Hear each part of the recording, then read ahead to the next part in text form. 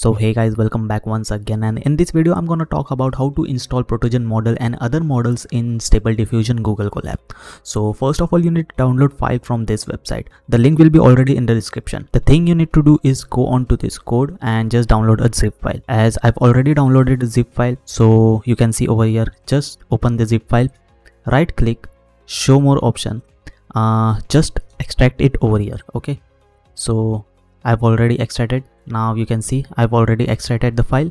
You can see all notebooks are already downloaded over here. You can see there are protogen models like protogen v2.2 3.4 available right now on this website. So the next thing you need to do is that just open google colab go on to google chrome and let's just open google colab let's open google colab okay.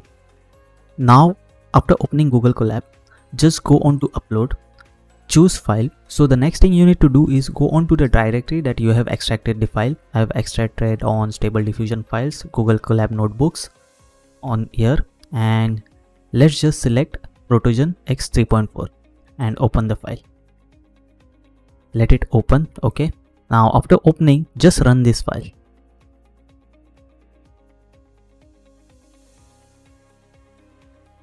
Okay so here we are it took me around 4 minutes almost 5 minutes to load this okay? So now you can run it on local url as well as on public url just click let's just click on public url and let's see. So here we are it is loaded and now let's check. Okay so this is the prompt that i'm using and let's check that if it generates or not. So it's generating. Let's see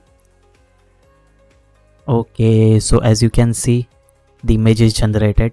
Depending upon i think so your internet speed it works. I don't know. This is the first time i'm using on google colab okay as you can see it is generating. It is using uh, stable diffusion protogen x 3.4 .ckpt you can see over here. Okay so this is how you install. Let's try to generate more images. Okay let's see on 10 and let's generate oh my god. So this is how you install protogen x 3.4 and other models on google colab stable diffusion. Okay?